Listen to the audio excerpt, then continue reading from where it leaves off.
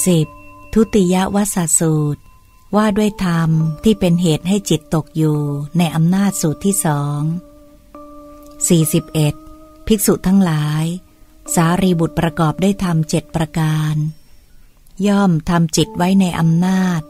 และไม่เป็นไปตามอำนาจของจิตทำเจ็ดประการอะไรบ้าง คือ ในธรรมวินัยนี้ สารีบุตร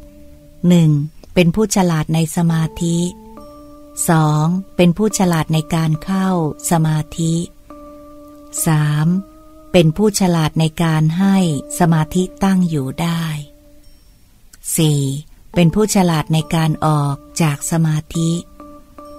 5. เป็นผู้ฉลาดในความพร้อม แห่งสมาธิ 6. เป็นผู้ฉลาดในอารมณ์ แห่งสมาธิ 7. เป็นผู้ฉลาดในอภินิหาร แห่งสมาธิ ภิกษุทั้งหลาย